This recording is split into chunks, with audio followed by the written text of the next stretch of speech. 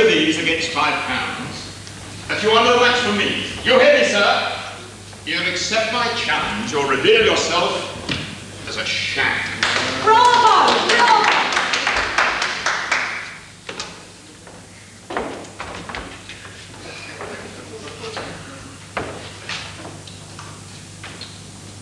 These are the fine and instruments like a this, one theme cannot be soon forgotten. You wager this against five pounds, sir? I do. Ha! You'll hear this foolish man. Watch and see how he will regret his folly. Five pound it is, sir.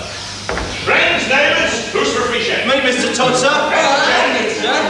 And will be the banker be the judge. Glad, as always, like my friends. There's come. yes, sir, quick.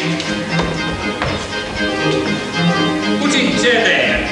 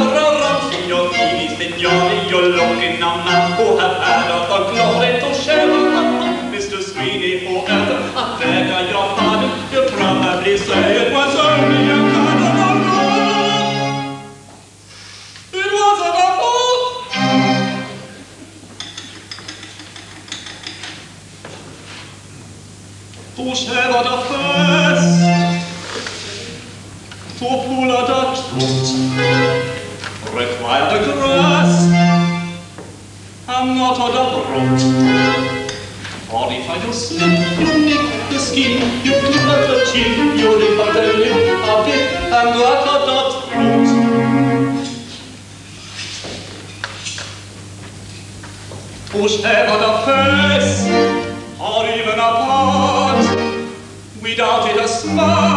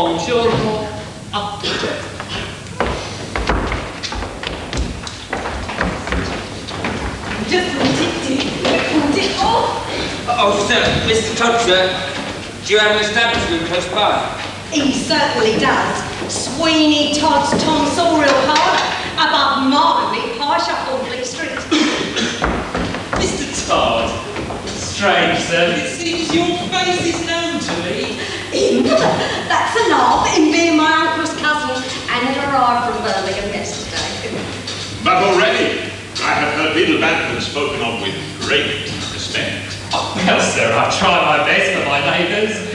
In Fleet Street, uh, only your my shop. Uh, that's it, sir.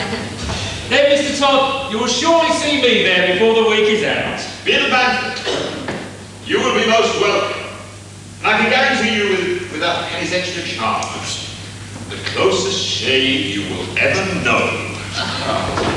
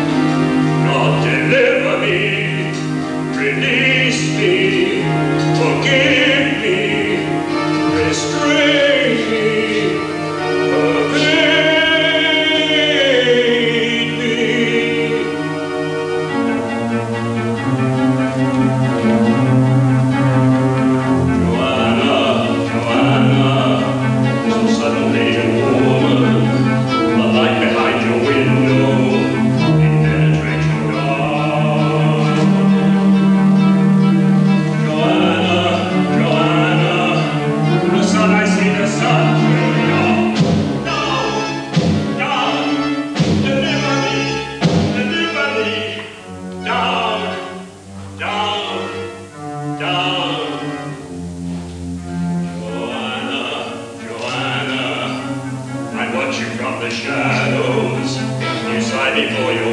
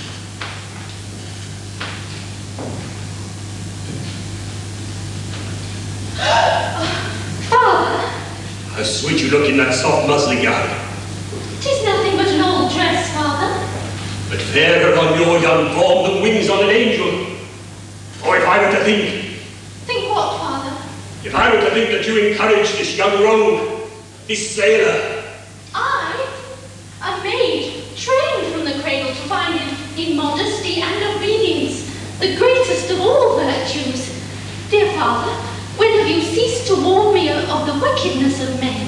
venal young men of the streets, with only one thought in their heads. But there are men of different and far higher breed. I have one in mind for you. You? A gentleman who would shield you from all earthly cares and guide you to the sober warmth of womanhood. A husband, a protector, and yet an ardent lover too. It is a man who through all the years has surely earned your affection. You!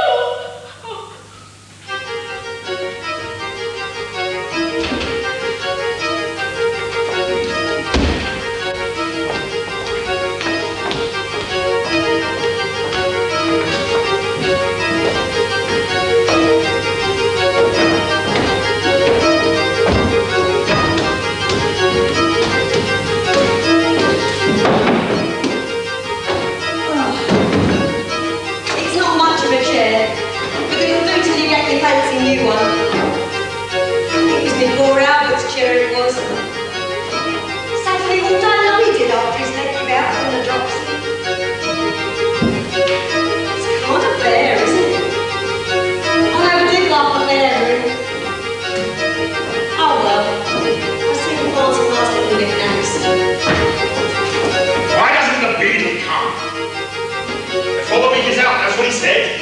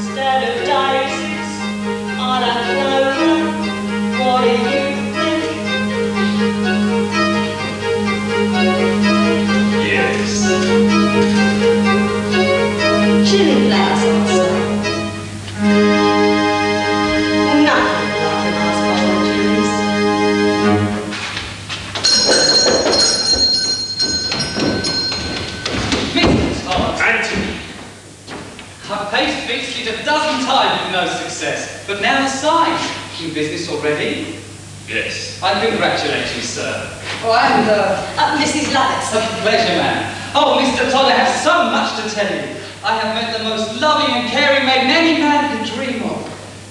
And yet there are problems. She has a guardian so tyrannical that he keeps her shut up from human eye.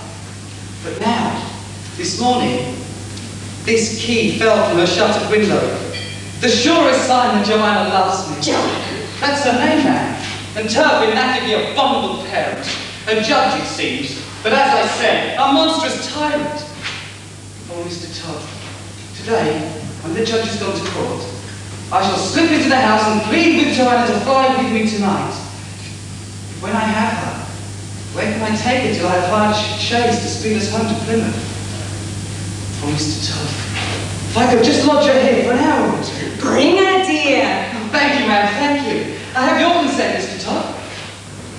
Yes, the girl may come. Oh, a thousand blessings upon you both. I must go now, for surely the judge has offered the old bailey.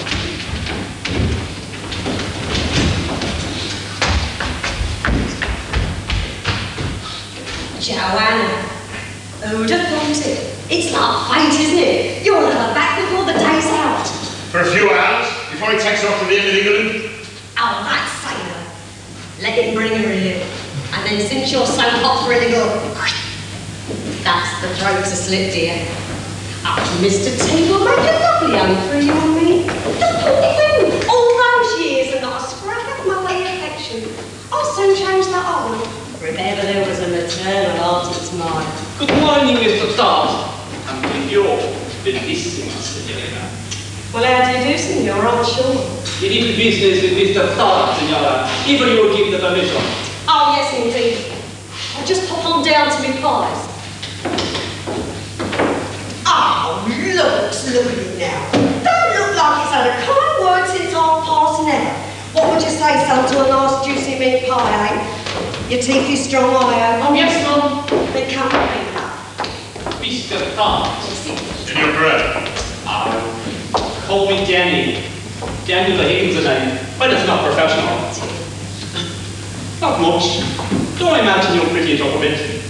I'd like if I quit back now, heaven you don't mind. Why? That's my boy, tucking. It'll hold me over to your customers start coming. Then with half your profit, you'll be after handing over to me every week on a Friday. Share and share alike. All right, Mr. Benjamin Barker. Why do you call me that? At least you've got a nice full of hair on you. Well, Mum, to tell you the truth, it's awful lot. Oh, go on. You don't remember me. Why should you? I was just a dull and out Irish lad, just hired for a couple of weeks, sweeping up hair and such like. But I remember these. And you, Mr. Benjamin Barker, later transported to Botany Bay for life. So, Mr. Todd, is it a deal? Or do I run down the street with my pal, Beadle Bamford?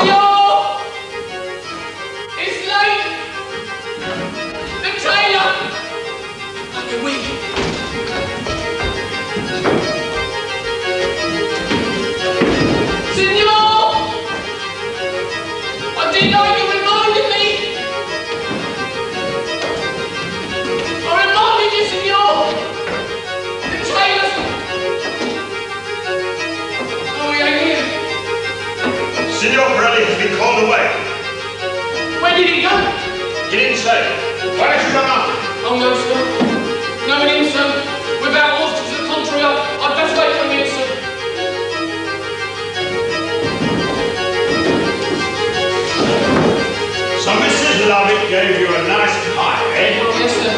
She's a real kind lady, one whole pie. One whole pie, eh? Well, I'm sure in a growing lad like you, there's room for another pie, eh? What's this, sir? An aching void. Then why don't you go downstairs and look your master? I'm sure Mrs. Lovett will give you another big pie and tell her to give you a nice big chocolate gin. Oh, sir. You kindly. You're a Christian indeed, sir. Gin. Here, Mum. The gentleman says to give me a nice pot of gin, Mum. Dear. Why not?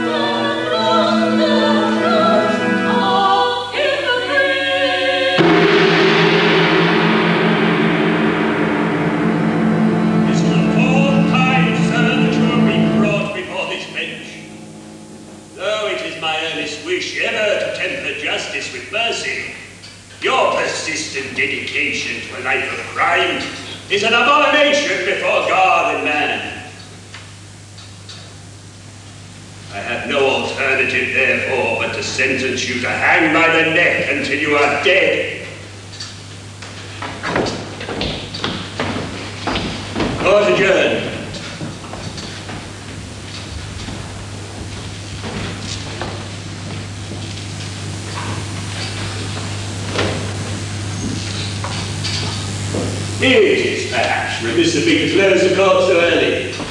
The stench from those miserable wretches at the bar was so offensive to my nostrils. I feared my eagerness for fresher air might well impair the soundness of my judgment.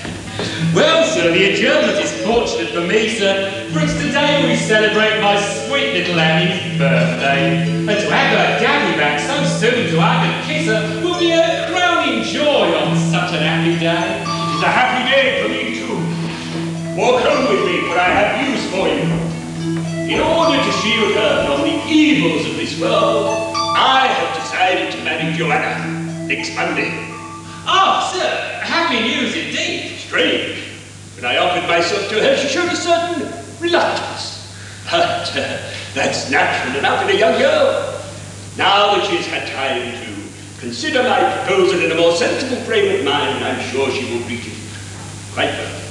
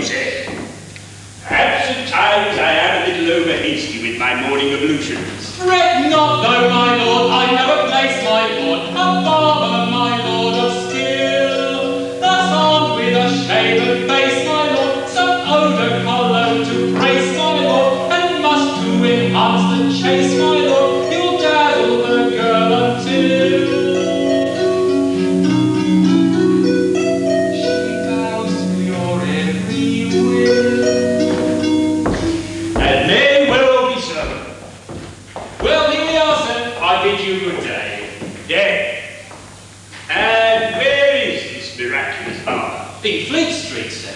May very well be right. Take me to him. The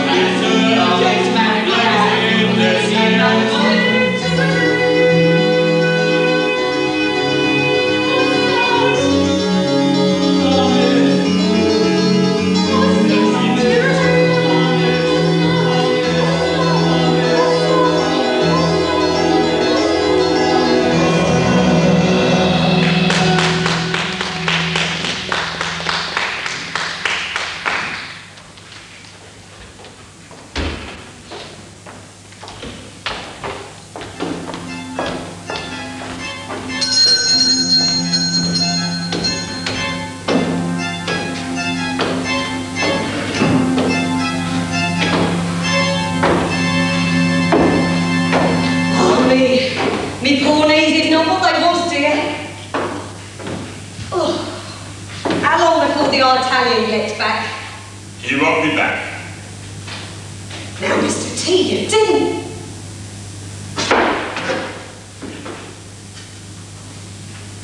You're crazy mad. Killing a man what done you no harm, and the boy downstairs. You recognise me from the old days. You tried to blackmail me. Half my earnings forever. Oh, well, that's a different matter. What a relief, I thought you'd lost your marbles. Ooh. All that blood. It's enough to make you come over from goose flesh, isn't it? Poor bugger. Oh, well. Ooh.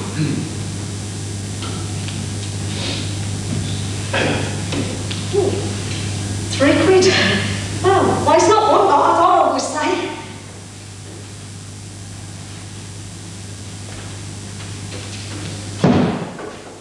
Now, we've got to use the old knocket. There you are, sir. I've opened the pie shop, sir. I see. You may leave me now. Thank you, sir. Thank you.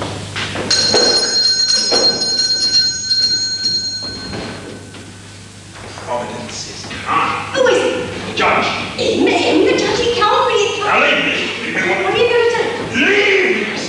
Don't worry, dear, I'm out. Excuse me, your lordship. Mr. Todd, at your service, sir. An honour to receive your patronage. These premises are hardly prepossessing. And yet the Beadle tells me you are the most accomplished of all the barbers in the city. That is most gracious of him. Uh, Please excuse the modesty of my establishment. I only moved into these quarters a few days ago, and there are still a few necessaries yet to come. Sit, sir, please. Sit. And what may I do for you, sir? Stylish trimming of the hair? Soothing skin massage? You see, sir, a man infatuated with love, her ardent and eager slave. So fetch the pomade and lovely stone, and lend me a more seductive tone,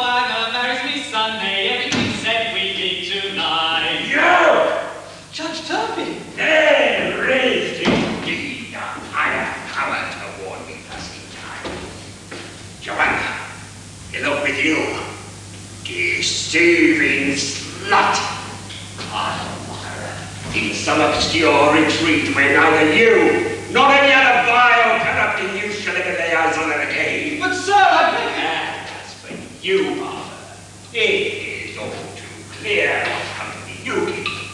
Service of well and hold their. We'll have none of mine.